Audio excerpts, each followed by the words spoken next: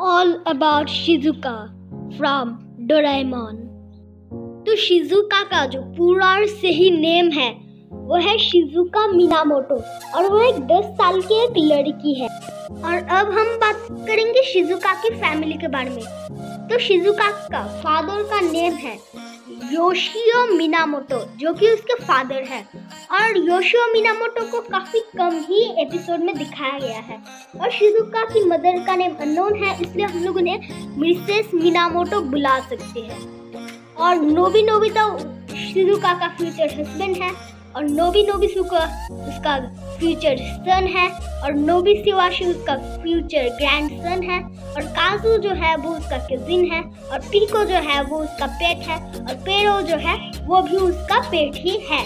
और अभी बात करते हैं शिजुका की हॉबीज के बारे में। तो शिजुका का जो हॉबी है, वो है नहाना और कुकिंग करना और दूसरों का मदद करना।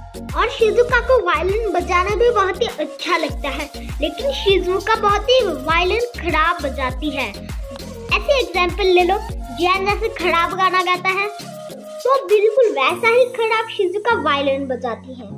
लेकिन शिजुका पियानो बहुत ही अच्छा बजा लेती है। और शिजुका डेकिसुगी को पसंद करती है, लेकिन उसकी शादी नोबिता से होती है। और अभी हमारा वीडियो इधर ही एंड होता है। और नेक्स्ट वीडियो होने वाली है सुनियो के ऊपर। सो बाय